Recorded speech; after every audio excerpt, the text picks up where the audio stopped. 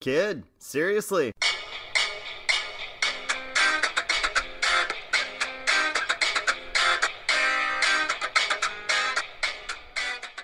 Welcome to a very special throwback edition of the Kid Seriously Show, the only show that usually prepares stuff before time, beforehand, but then everything gets messed up, and now we've put me in a really bad position.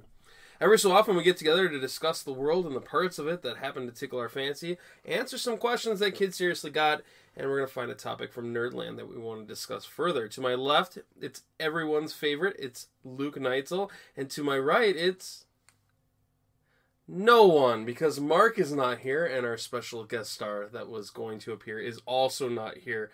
Much Um, like Sean Maloney, he's too sleepy to perform. I don't get the It's a fire joke. fire joke. Yeah, Yeah, my life is fireless lately. it's a Yallop fire joke. How are you, Luke? I'm good. Oh, good. I'm good. I went to the fire game yesterday. Yeah, how was it? And they looked awesome, and it was fun.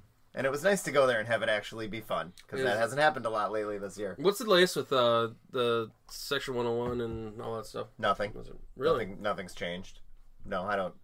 I don't think anything's going to change. It doesn't sound like that they are going to give them their section back. It's tarped off completely, all of 101, and there Why were they selling those tickets? I mean, well, okay. They- I- no, never mind, never mind. I just Yeah. realized I asked the stupidest They're going to be selling those tickets. It sounds like they're opening those up to the general public of season ticket holders to pick next year. I haven't gotten info. I paid my re up back in the uh, spring because they ran a promo that was like, if you re up now, you get to go to a practice um, with the players. You get entered into a contest to go to Munich when they played in Munich, and you got a special talk from Nelson Rodriguez, and it was actually the the day of or the day before he banned 101. Um, so I re-upped, but I haven't gotten information on what seats you can select or anything like that. So I was curious to see if 101 is on there, but it sounds like it will be. And Section 8 is still boycotting, and like they they both have watch parties at bars, so they still watch the games.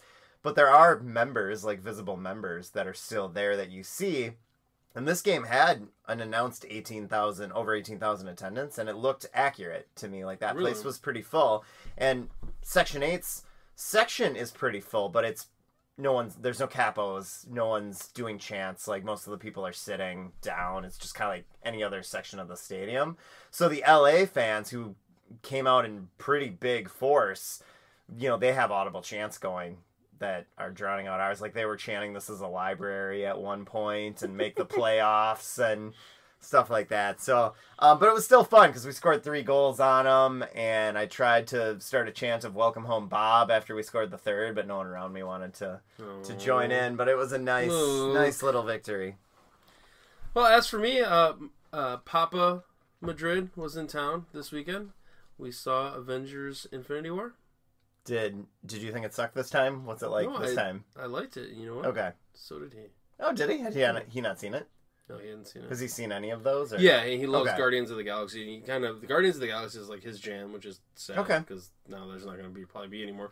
Um, but he is watched as like a casual Marvel Universe fan, and he really enjoyed it. Because I always wonder how much that one would make sense. Because our, our friend who canceled on us today, he we- canceled. we were talking We're about supposed that. to have him on my right. We were supposed to, but he's not here. He's sleeping, and He's he, tired. he doesn't like any of those movies. No. And he wondered about going to that movie, and I kind of in my head was like, you know, will it make sense to someone who doesn't like it? Like they don't hold your hand and explain what's going on. Mhm. But in the same standpoint, I think you could just watch it, and whenever you don't get something, just go, eh, comic book nonsense, Mhm. and move on, and you'd still be fine. Yeah, I think you're you're probably right there, and and and again, I would like to apologize to you, to our listeners, to America and the world. Uh, for my original comments on that movie, I love that movie, and it gets better every time I see it. Like I adore it, and I was just tired. I haven't seen it a second time. I, I've thought about renting it a few times, but I've just never gotten around to it. It's unbelievable. Yeah, I It's so really, good. really should at some point. Hey, you know what else is good? What? Moving on to Am I Right or Am I Wrong? Am I right? Am I wrong? Am I just dreaming? You're wrong. So we're gonna get right to Anthony Dilweg's favorite game show. It's Am I Right or Am I Wrong? Here's how our one-player game is gonna work. It's me against the world. Seven questions. and I'm gonna go first, and I'm gonna be the only one tonight. And um, eventually, if I or if I get to four, I win, and if I don't, I lose. Now, there's nothing on the line tonight, right? I'm still the number one contender. Yep. This isn't affecting if I lose. It's not affecting my record. How? What, what's the It's a practice here? round. Okay. So, you know, it's just your it's a training match while Mark is on vacation for the ninth time in the last three months. You know, for a guy trying to get out of his contract, I should show up. You know, You do. like, whereas he's just kind of you know Well, the, taking. the life of a trophy husband, and you know, It's hard. That's what you got to do. So, are you ready to begin, sir? Yeah, I am ready. All right. Well, we're just gonna dive right into this because this is a jam-packed one, and I already had to, due to our guest dropping out, where it was going to be a two-player match. Was there I a had- guest that was supposed to be Here? There here? was gonna be a guest, Oh my goodness, he's okay. sleeping. He's but- tired. He's so tired. Not now, Todd. I'm so tired. But anyways, I had a, a, a fantastic 311 related question, but it's just not going to work anymore. So I'm going to have to kind of retool on the fly here. Okay. So we're just going to dive to do that in for the intro. and make this work. You know how I feel about my intros.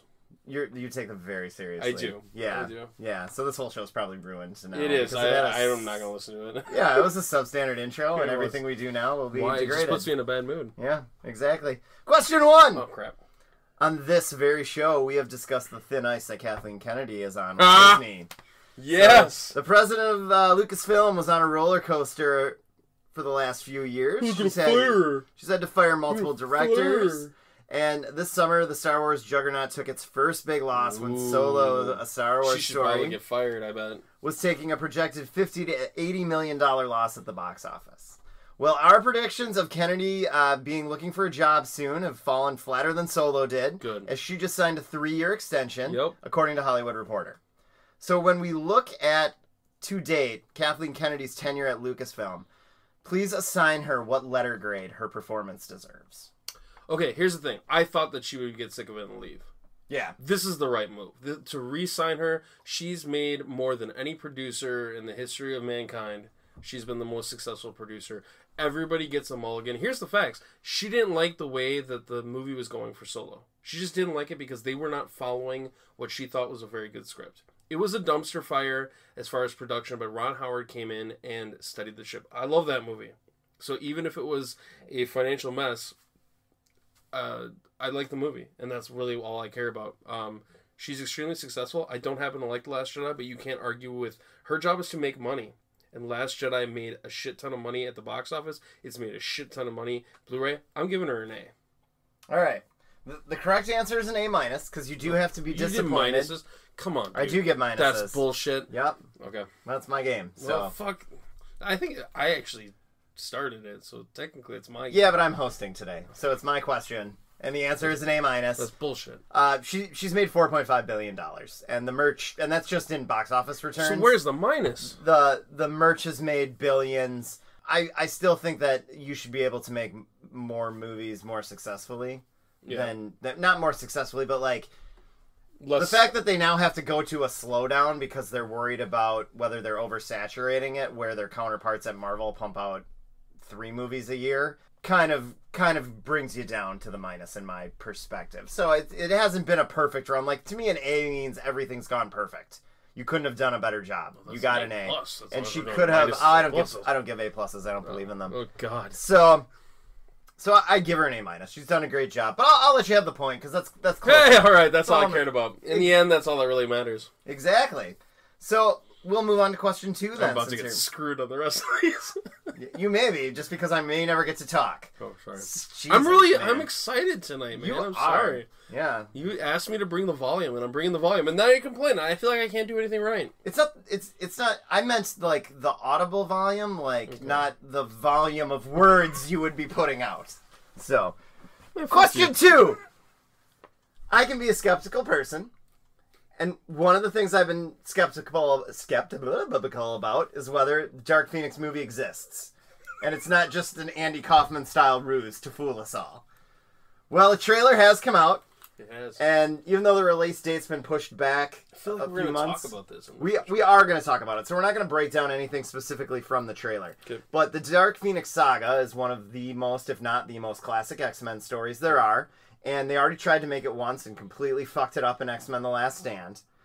So before we talk about the trailer later in the show, I want to know a story that you love that was adapted to the cinema after you had read it and they knocked it out of the park. Adapted after I've read it. Yeah, so you can't have Oh, like yeah, God loves man kills because they they did a great job. I know it's a loose adaptation, but that's what I was gonna go with. But I didn't read that until after. and it doesn't have to be comic book. I it know, can but be it's me, so it's gonna be a comic book.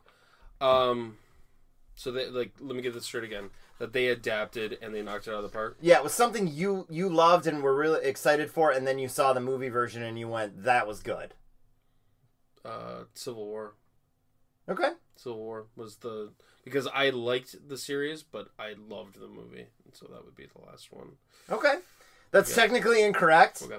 Um, the the answer I had is The Life of Pi, which is a, a book I loved, which I didn't even fathom how they could make it into a movie because Mm-hmm. it's kind of such a weird off the wall topic to to deal with and scenario. And I went and saw the movie and loved it. So uh, I, I give them the points. Civil War is enjoyable, but I think the comic kind of sucks. So Yeah, comic gonna- does kind of suck. I'm gonna take a Mm, yeah, ta- ta- take a point away from you there. But you- yeah, I. Uh, you're right. Comic You're- does kind of suck. you're one for one. I liked it at the time, but so this is where I shut up, right?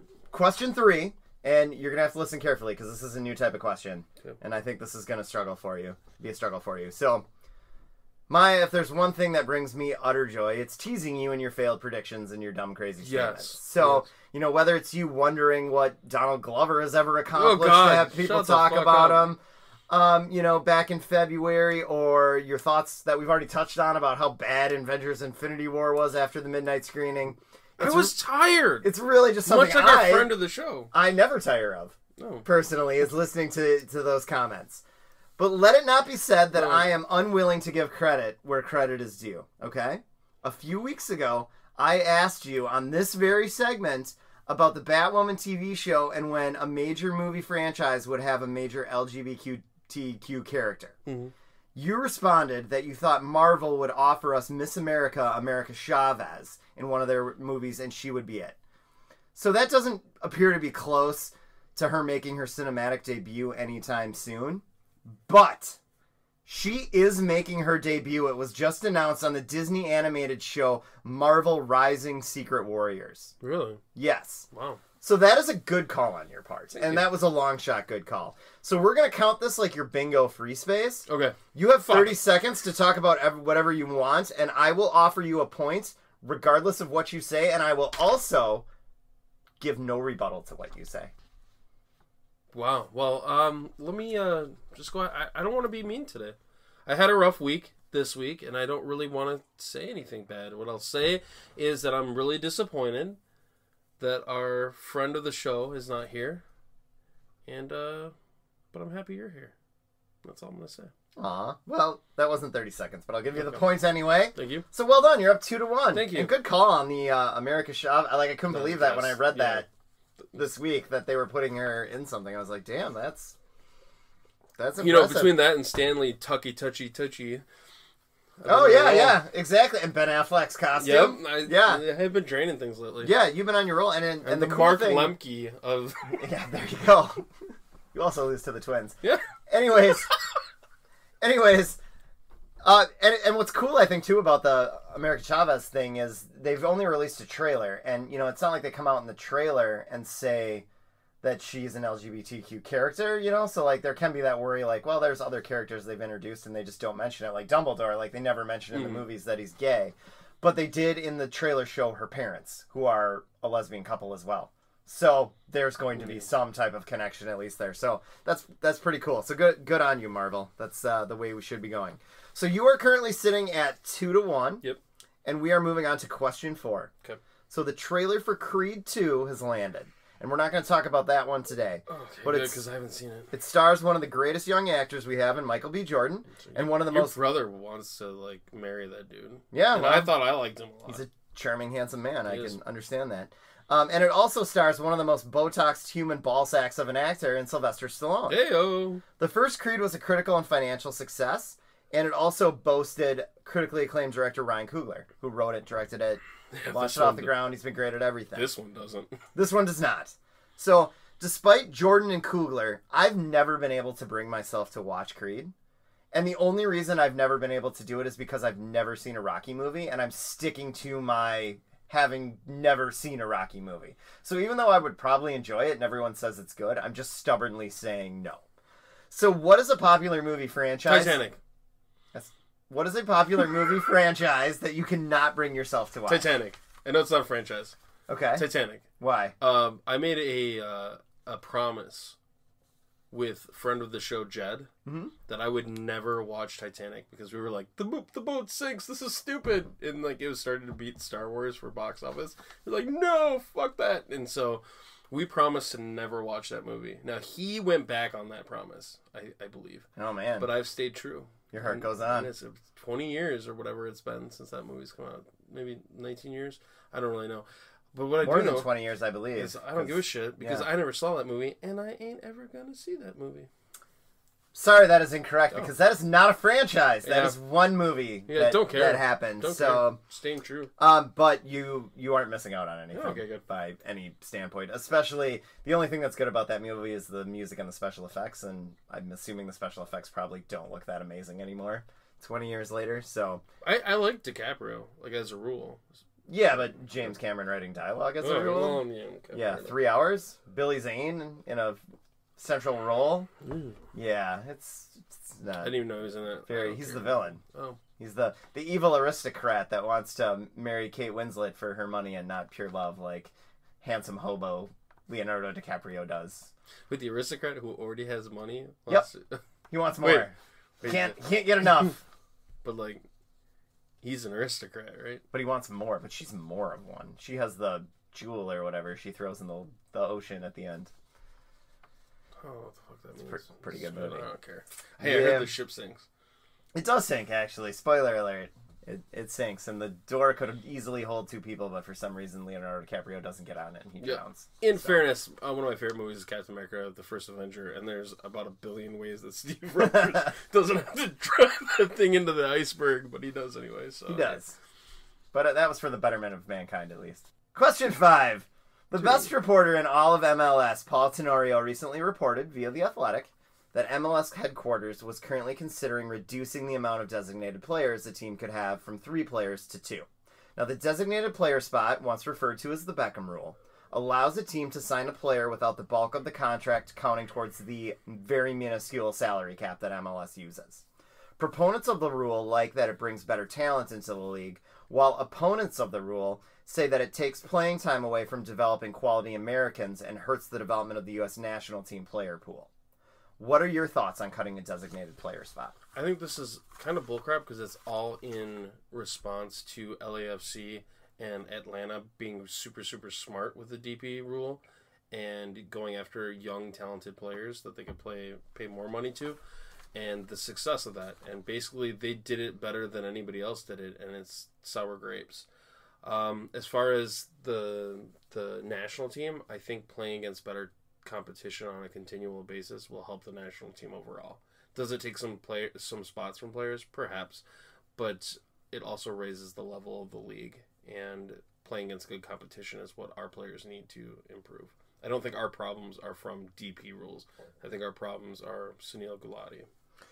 So, well, he's gone. Yeah. So, know, so some of those things you said I think are spot on, and some of those I think are a little odd. I don't think the league is remotely bitter about what Atlanta and LAFC Yeah. are doing. I think they are completely in love and promoting them and hoping that the two of them meet in the final because that is the best thing that could happen for the league. And I think they see what's happening with Josef Martinez and Almiron and those guys as what you want because you're bringing in those good players, you're going to sell them, and that's going to raise the the cal the, it's going to raise the profile of the league for other good South American players who see a guy go to Atlanta United, then turn around and get sold to Europe for big bucks and play for good teams, which I think is going to happen with them. Uh, I, I think it might be a reactionary thing uh, revolving the national team, and reg- and I agree with you that I don't think it hurts the player pool either.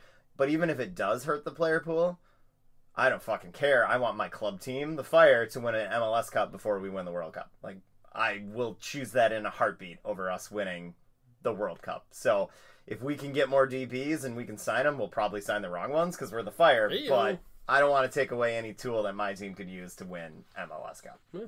So I'm sorry, no point there. That's okay. I got a free one. You did get a free one, so this this balances it out. Maybe I'll reinsert the 311 one if it Okay. seems like you're getting a little too ahead of yourself here. We already had a pavement one. I think it's only fair. Yeah, don't get cocky, flyboy. All right. So where are we now? Let's see. I, I think uh, that was question five, and I think you are uh, in trouble here. I think you've got two points to uh, out of a possible five. So that means you need to. You got your your shout out, and you got your Kathleen Kennedy grade. But other than that, you've been missing out. Yeah. So we'll go into question six. Okay. Two questions to go. You need them both. Yeah, the pressure's on. Is the answer Stanley Tucci? The answer, wait, maybe you just have to wait and see. Okay. You are allowed to guess that if you want. My favorite sports league, the NHL, is going to drop the puck uh, on a new season this week. And there's been some big player moves in the offseason. Erik Karlsson is now Shark. John Tavares and Auston Matthews are set to take Toronto by storm. And my beloved Minnesota Wild made massive waves by signing, solid seventh defenseman Greg Pateryn. Miah Madrid, avid hockey fan, Oh, guy who has already pledged earlier today how into more. the uh, NHL he is going to I'm be. Gonna watch some games. Who is going to win the Stanley Cup this year? Well,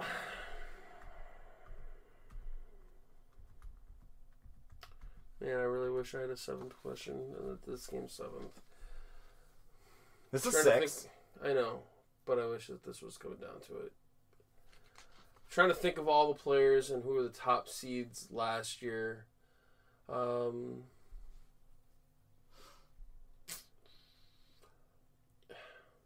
fuck it, Toronto. Toronto's gonna win. Auston Matthews is gonna explode this year, and he's gonna go crazy. And it's gonna be Toronto. I was gonna go with um, L.A. because I like their goaltender a lot, but I can't remember his name.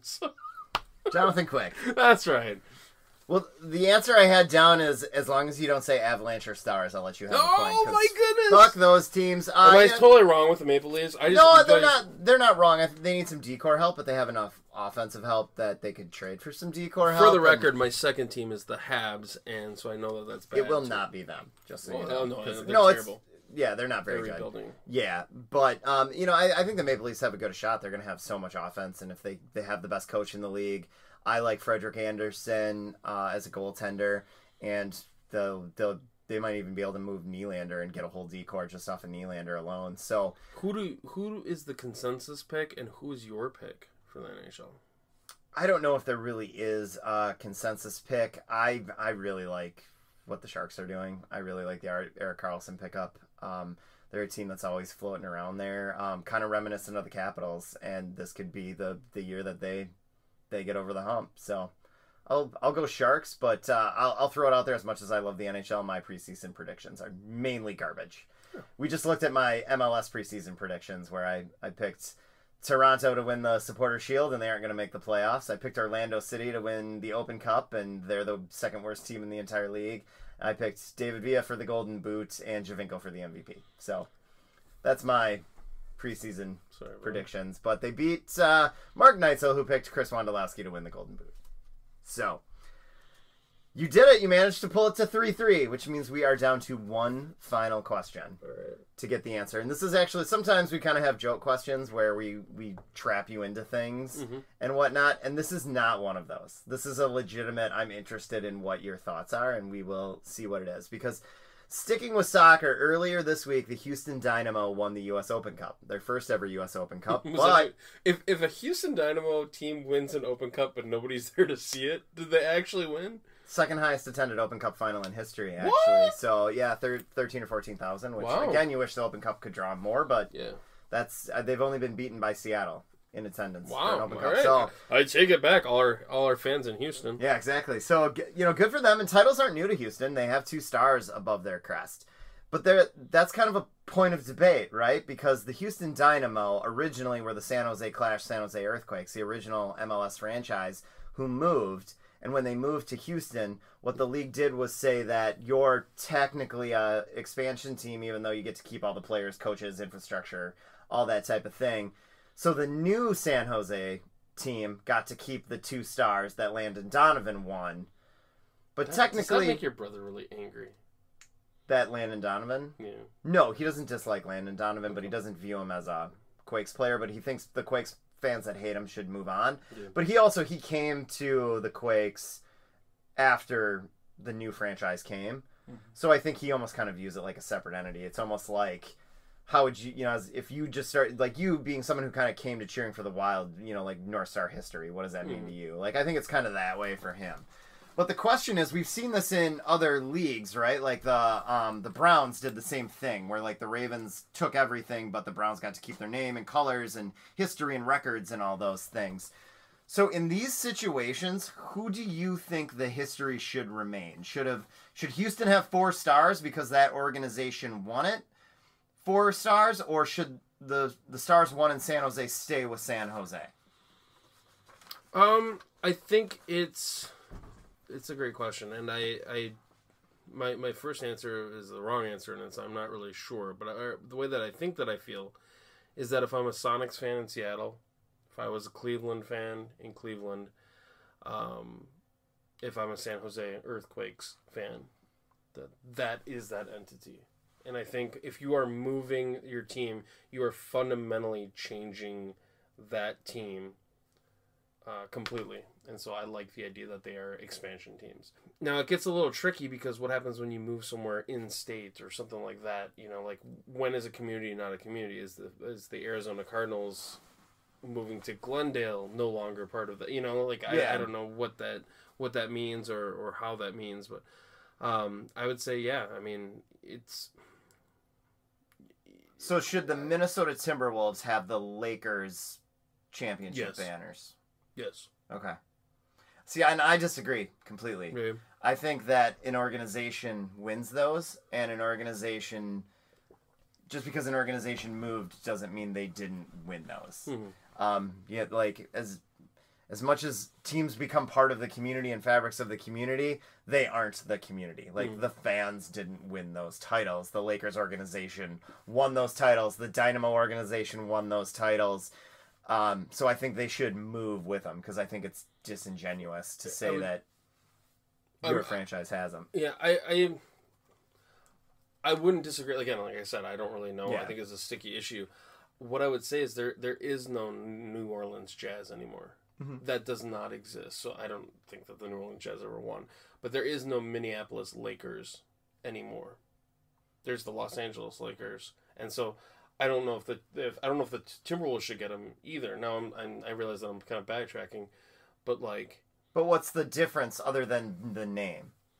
Like, Mm-hmm. is the name what gets the name is the the crucial crux that creeps it or keeps it? Because what you initially are saying is, you know, like the city is the one that's winning it or whatever. Mhm. Well, the the NBA team was the Lakers, but they left, so then we got a new one. Mhm. So then the new one should get it, or you know, should should the the Wiz only have, or the you know the the Sporting Kansas City only have one star because they aren't the Wizards anymore, and they won one title as the Wizards. yeah, I don't know. You know, like so. th- For me, this is how this is how I would do it. I think organizations win titles and records, so the titles and the records should transfer. Um, so the the Lakers should display the banners from Minneapolis. The the Dynamo should display the two stars that were won in San Jose. But when teams move, I like names, logos, and colors staying in the city. Like I like that they got to be the Earthquakes again Mhm. when they came back. I like that the Browns got to be the Browns again. Um, I don't like the fact that the Texans aren't the Oilers. yeah, yeah. And you know, like again, and if they choose to not be that or whatever, Right. I mean, one of the most heartbreaking things I found out recently is that the NHL offered the Wild North Stars, and they said no. They wanted to do their own thing, which is disappointing because what a great name and logo that was. But And I think it would be awesome to have the Stars and the North Stars. yeah, That would be yeah, no, I think it would have been it would have been a what I would have wanted hmm. ideally. I mean, and the Jets, you know, the the Jets, you know, like the Jets never won anything, but like you know, the Jets moved to you know you have that whole interchange of the Jets were the Jets in Winnipeg, and now they're the Coyotes, and then you had the Thrashers in Atlanta, and they're now the Jets in Winnipeg.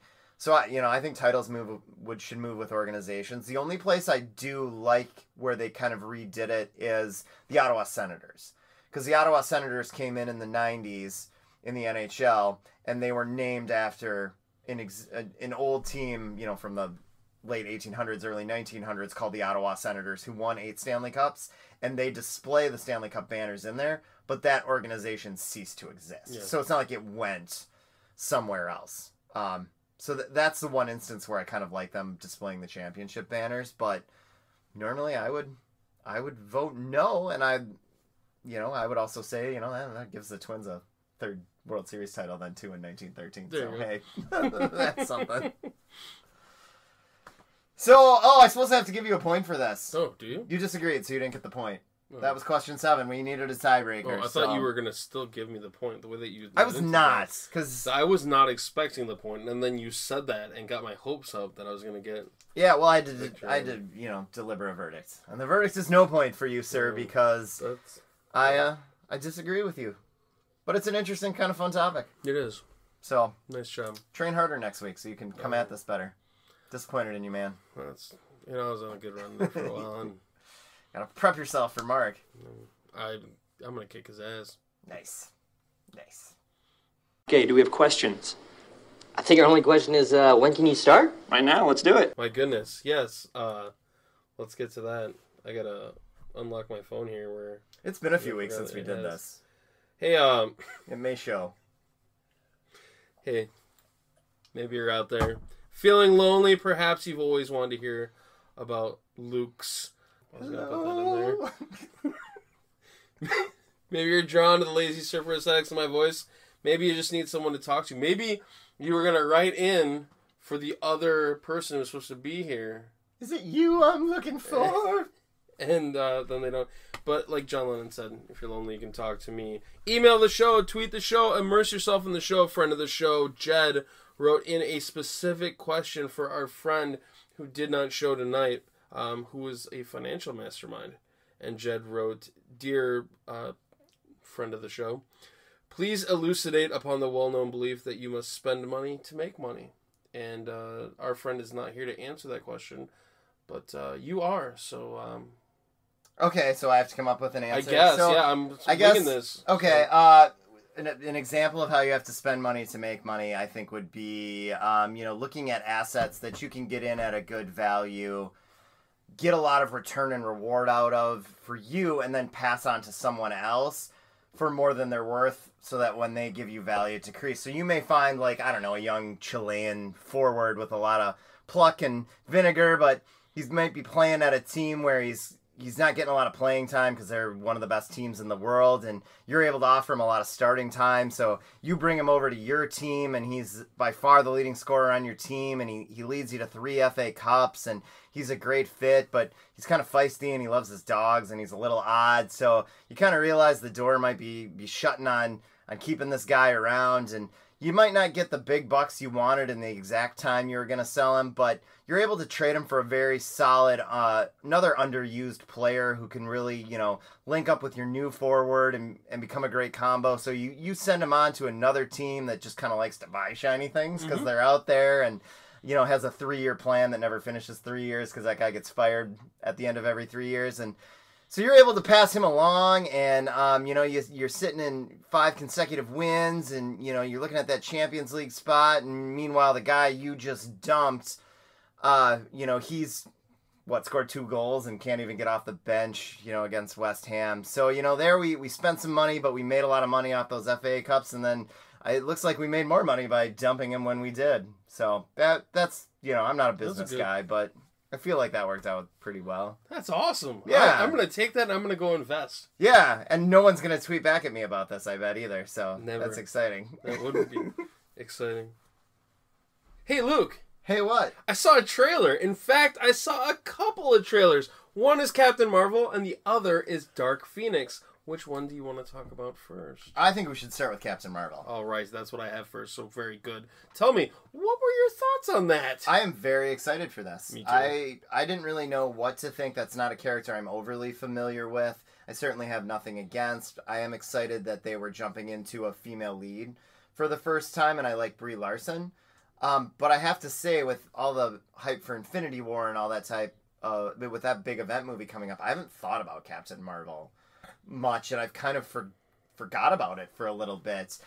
Um, and you know, she got that teaser at the end of Infinity War, which was Spoiler. exciting. Yeah, but it's not, you know, it's not like you saw Brie Larson or anything like that. So to finally get the first images of the movie, it looked really good. Like the effects looked great. She looked great in costume. the Skrulls looked really good. Um, Her punching a grandma was awesome. exactly, and I I I wonder in my head like, do they they they knew what they were doing with that, right? Did they they knew that would rile people up who didn't understand, and because that gets people talking about the trailer, and everyone who knows anything about a Skrull knows exactly what's happening Mm. there or whatever. She's not running around beating old women just to beat old women, but um, it, it's a moment that shocks people, and that's the type of thing you want in a trailer. So I this got me excited, and you get a little bit of the backstory, but I don't feel like I know the whole plots. It's, you don't know everything. It's not Spider-Man: Homecoming where I felt like beat for beat I knew everything from the trailer. So this this is exactly what I want in a trailer, and it got me really excited for it. The the biggest drawback in my head, being a massive Green Lantern fan, was I went, damn it, they're gonna do a better Green Lantern movie now than DC has been able to do with the fighter pilot becoming a space cop. But Well, um, the obvious comparison is going to be to Wonder Woman, and ultimately in how we view this movie after it comes out, and I think that's a good place to be. And that even though I didn't care for the Wonder Woman movie for, um, 'cause you hate women. I don't hate women. uh, I have two in my household, and they're pretty awesome. Um, I I didn't like Wonder Woman because of some like technicalities, not because of what it did for for movies. And, I, and I'm happy that it did well, and I'm happy that people really really enjoyed it. And it's quite honestly taken far too long for Marvel to do this. We should have a Black Widow movie by now.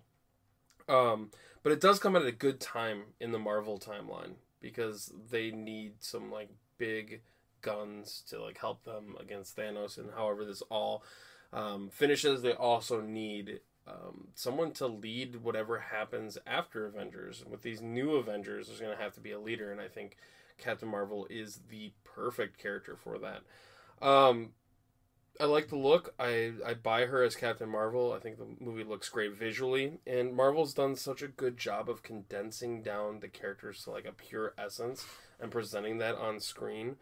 And it's a they have a really good track record, but that's my my my only worry is that her whole story is like ups and downs, and if they try to do everything, I could see that that um, backfiring a little bit.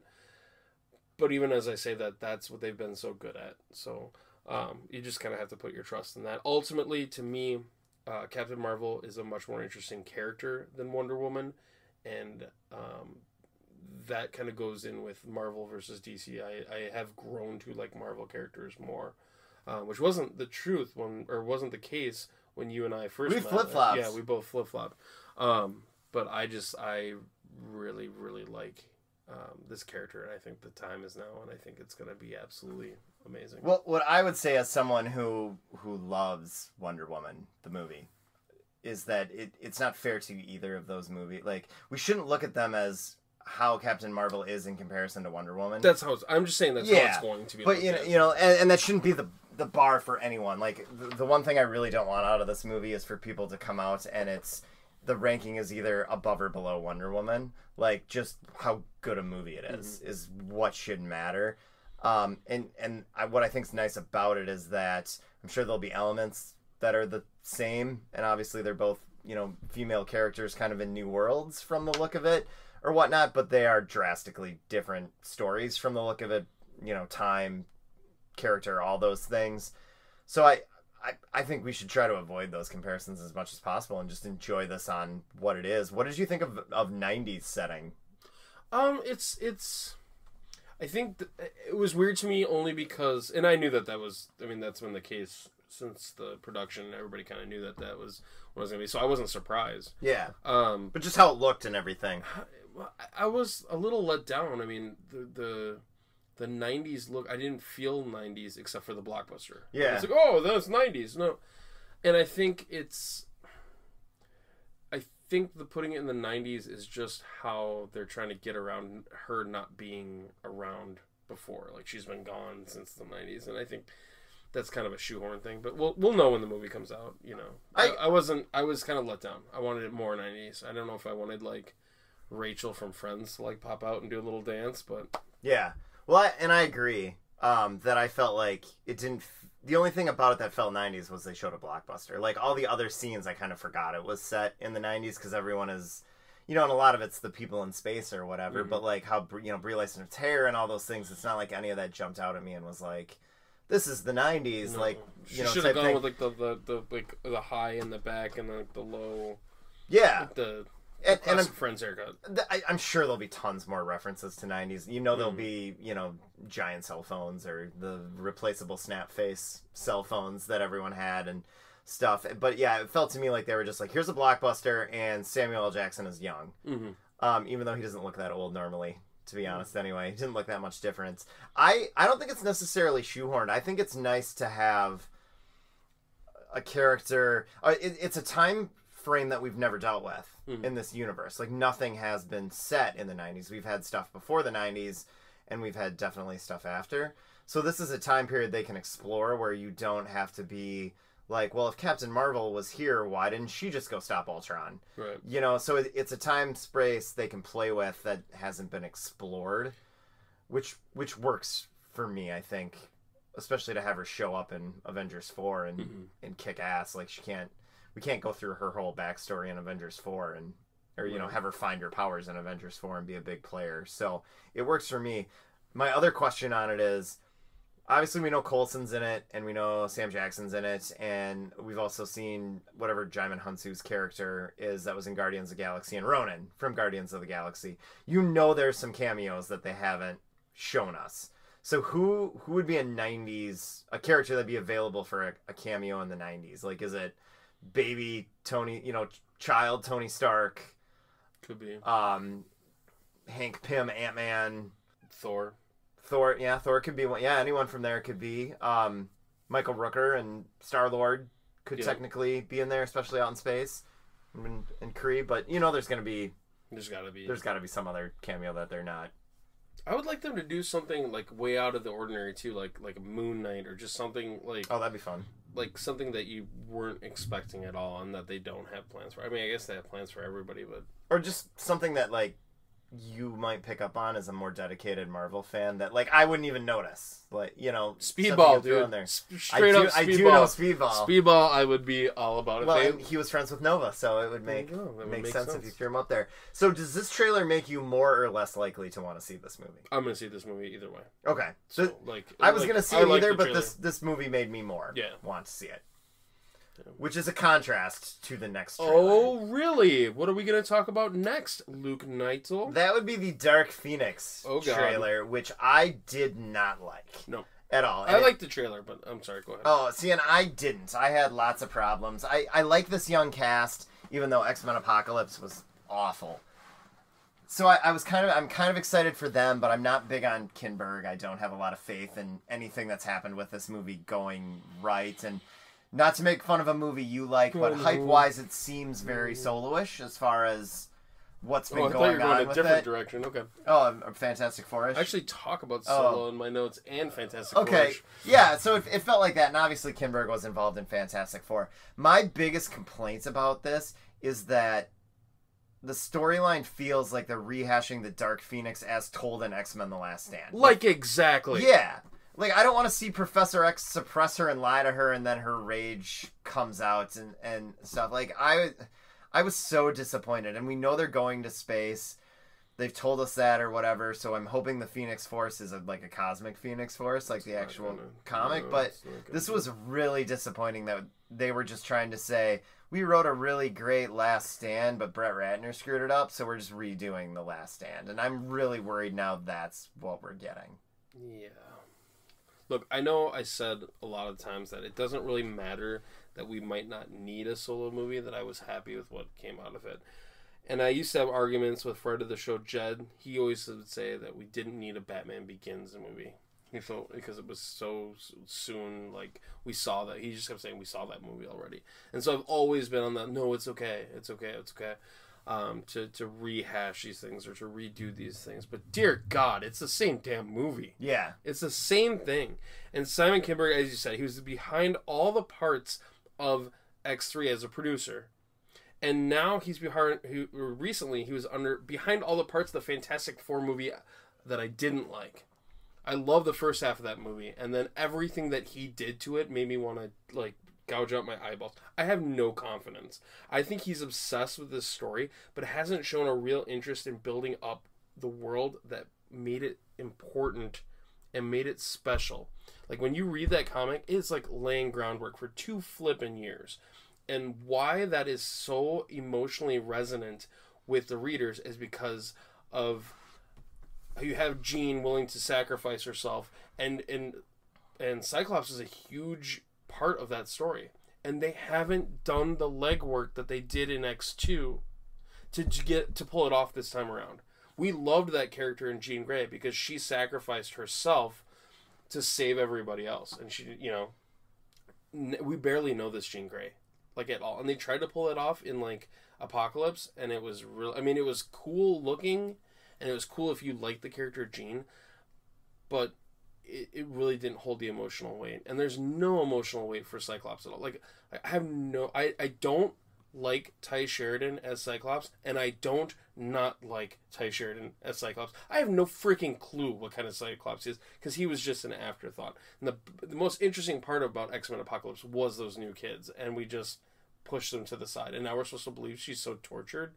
Why? Because she had three lines in a movie I just I don't know So my my wonder on this is is this trailer design? Maybe they are going more cosmic. We do know they go into space. We don't know who Jessica Chastain is playing, but it sounds like she's not a Skrull. But it sounds like she might be a cosmic character. Is this trailer more of a misdirect for casual fans who they don't want to bombard with aliens and cosmic I- stuff? you're giving them a lot of credit Yeah, that is true. I think that they just really want to show tortured Jean, and they're doing it all over again. But the difference is we cared about that Jean Grey, and we don't know this one. Now, I like Sophie Turner, and I like her as Jean. Like, I think she's gonna do a good job. But man, if she like lets up at all, like like Jennifer Lawrence did in the most recent movie, like this could be a train wreck. And and the rumors coming out is that it's unwatchable.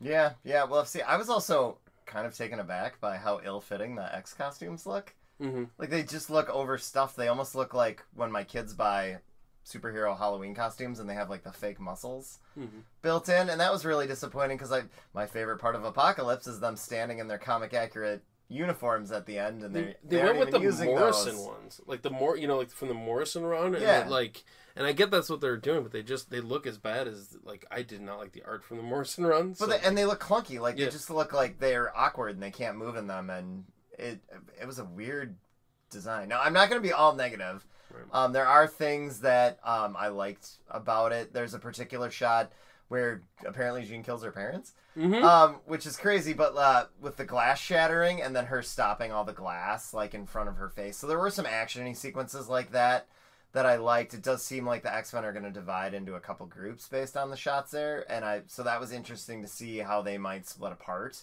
um, in different lines. And I I love Jessica Chastain, so I'm willing to give her the the benefit of the doubt that she'll at least be entertaining. Though I would have said the same thing about Oscar Isaac too, going into Apocalypse, and he was not interesting or entertaining in that not. movie. you are all my children. Yeah, he's whis- oh yeah. So that oh yeah, let's not talk about that movie anymore. Um, It's not as bad as X three, dude. no, it's not as bad as X three, but it's not good. No, it's not good. It's not good at all. And I liked it coming out. Remember, I was like, oh, this is okay. It's pretty good, and it's just that was wishful thinking. yeah, it's it's real bad. It's it's real real bad. And so maybe the bar is so low that this can't be worse than Last Stand or But the bar was so high with the first two movies of this generation. X Men First Class, I maintain, is an awesome movie, and Days of Future Past is up there with some of the best movies uh, in this universe. Um, I, I put probably three just off the top of my head, with X two and Logan being added, and Deadpool. Obviously, I didn't think of Oh, Deadpool, yeah. but um, yeah, I'm not looking forward to this. I'm not excited. I will still go with you. Uh, because that's what we do, do unless go you're going with movies. Jim. No, no, I told you I would stay with you for X Men movies if I have to. So yeah. Well, and we have till summer now, or until it gets pushed back again. But yeah, this this trailer. Wait, got me- pushed back to summer? I thought Yeah, it got pushed. Pushed. That was they just announced they got pushed back to summer. Hey, did you see the the Gambit movie is going to be a romantic comedy? Yeah, good luck with that. That's gonna be so good. Fuck. it's they're never gonna make it. I Like they're not. they're ugh, they'd have to get it under production. so quickly before this merger happens, and I feel like Marvel's just gonna be like, nah, we're we're good without this. So I mean, you know, and the same thing with these X Men. Like, even if this movie's the best movie that ever comes out, we're probably done with this cast of X Men. interesting because you know they're they're setting the the idea of um, this being like the end because like Jean's gonna go crazy and like the end of the team she's gonna destroy everything and they're using the end by um, I don't know who did the cover but obviously like from Apocalypse Now um, Doors. from the Doors and um, really I kept thinking I surely hope so I hope this is the end and Do you want to hear my amazing conspiracy theory What's I that? just thought of with the movie being pushed back to summer? What if at the end of Infinity War 4 they interdimensionally open into the X-Men world and they merge the two worlds and that's why it's happening after Infinity War 2? That would be the stupidest That would be terrible. Would be- Absolutely. You know who would have come up with that idea? Simon Kinberg. He would have, and he's probably And- pitching it right now. And you know what? You know who's telling him go fuck yourself? It's Kevin Feige. yes, That- yes, he is. So That sounds goodbye, like one of my sounds like one of my ideas. no, you know, what'd be really good. And you gotta sh- It, shut it up. it sounds like on Parks and Recreation when they had uh, Pat, Patton Oswalt filibuster, and all he talks about is how he would bring the Marvel characters into Star Wars. so that's exactly what that idea is. So yeah, this is good night to these X Men characters, and this trailer made me less likely to want to see it. Oh, is they started off so good. Oh well. Let's move to some other nerd news. I'm a nerd. We have news for the beautiful people.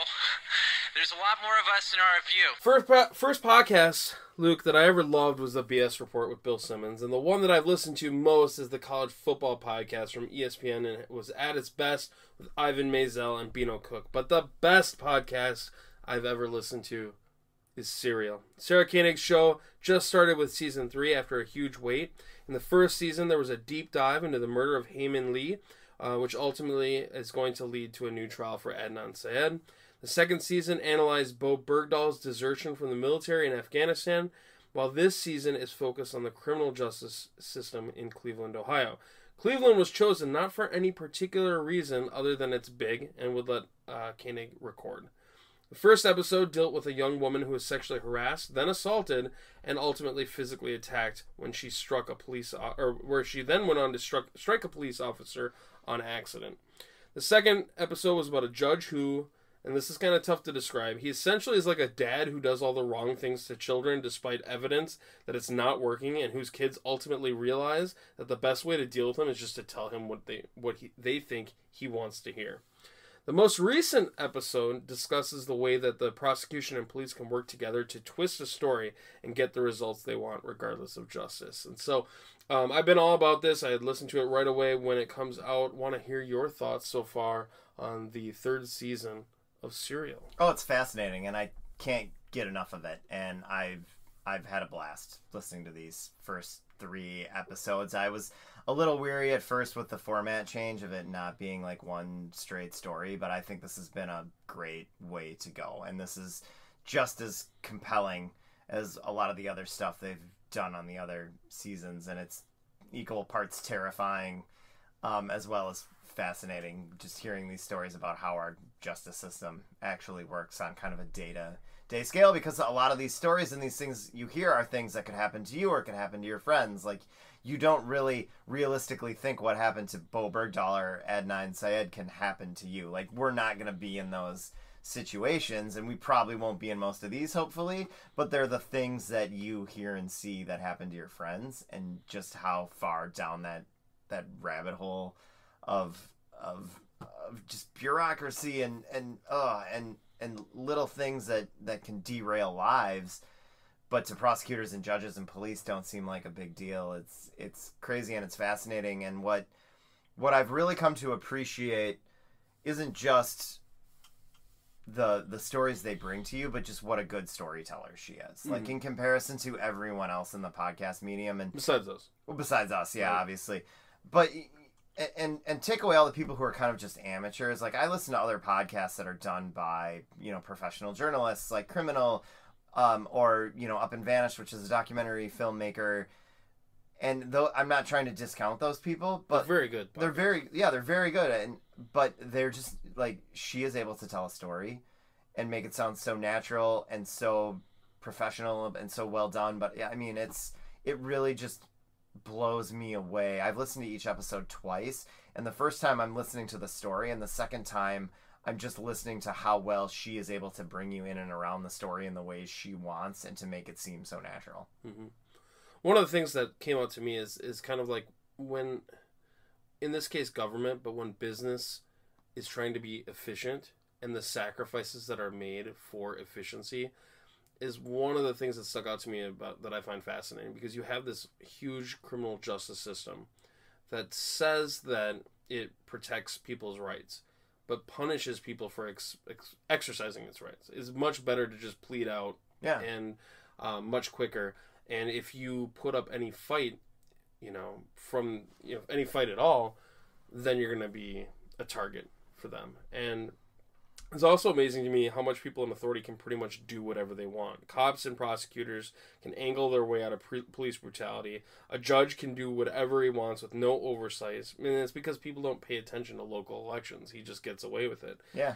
justice isn't really something anyone seems at all concerned with in this show. I actually went up um, and looked for Judge Gaul is his name, and I looked at his Cleveland Bar Associating Association ratings, and um, he received a 3.5 out of 4 by local Cleveland bar associations. The breakdown was uh, he got a good from the Cleveland Metropolitan Bar Association. The Cuyahoga County Criminal Defense Lawyers Association listed him as excellent. Norman S. Bar, uh, Norman S. Minor Bar Association was excellent, and the Ohio Women's Bar Association listed him as good. And I was like, "Holy shit, That's terrifying. What is bad?" Yeah. Because that guy is terrible. Yeah. Yeah. And you, you, even if they ranked him poor, it wouldn't matter because voters don't research. They just pick whatever name. Well, he's in fairness, there, I'm a Democrat. He's a Democrat. Cleveland is a Democratic city. People are just voting for him because he's a Democrat. Yeah. They Yeah. see that on there, and this. But yeah, well, and uh, yeah, people people vote for the the R or the D or the name they think is funny or the name that they just saw on a sign because someone bothered to put up a sign. That's why incumbency, regardless of party, you know what, uh, incumbents win basically almost all the time because we don't bother to do the time or the research and look into what we're doing, and that's leads to these people thinking they can do whatever they want because who is going to stop them? I mean, you even hear from the other judges who disagree with him and can tell some of the things he's done are really unethical, but they don't even want Yeah. to really go on record to talk bad about him. No, because then he's going to screw him. Yeah, You know. exactly. So, no, it's really it's really eye opening, and I like that they they took this approach of saying these other cases we've done are extraordinary. They don't tell us anything about the criminal justice system, so we're going to look at what the ordinary is, and man, the ordinary is w- way worse than the extraordinary. Um, awful. yeah, yeah. I, I mean, I will. You know, I, don't- I don't think anything they do is ever going to beat season one for me. This is probably a better journalistic achievement so far, and we're only three episodes in. But the mystery of season one and like all that is is so compelling that it's hard to beat. But I already like this better than season two. Yeah, I was going to ask you because I enjoyed season 2 Mhm.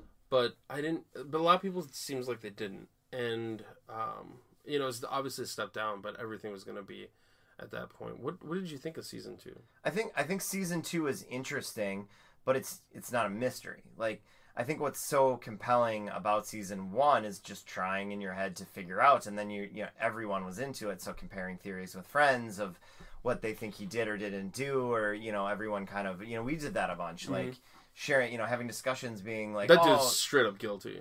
Oh yeah, I I think. I, think he is guilty too, but what they convicted him on is Right. is completely wrong and stuff. But you know, having those those debates with people is fun, and the Bergdahl case is interesting, and there's so much I didn't know about it, and but it's not a it's not a mystery. It's just this is what happened. Here are the the two sides. You know, should he be punished? So they're a different type of story, and I'm always going to gravitate towards the mystery. And then when it comes to season two versus season three, um, so far I'm just liking season three more because, you know, again the Bergdahl thing seems so far from my reality that um, th- this feels you know closer to home, and I you know I'm not you know I've never been convicted of a crime other than you know a traffic you know speeding tickets and stuff like that, but um, you know, these are the things that your friends or family could be dealing with, and to see how crazy the the system really is, just on the normal level, is um,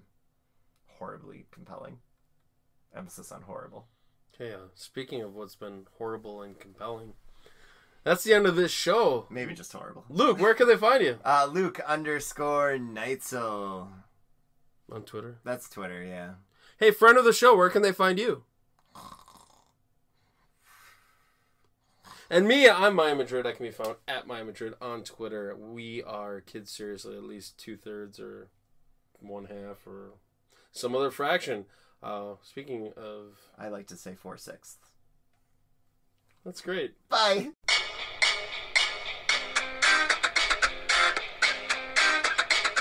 Thanks for listening to Kid Seriously. If you didn't completely hate us, feel free to hit like, subscribe, or tell a friend about the show.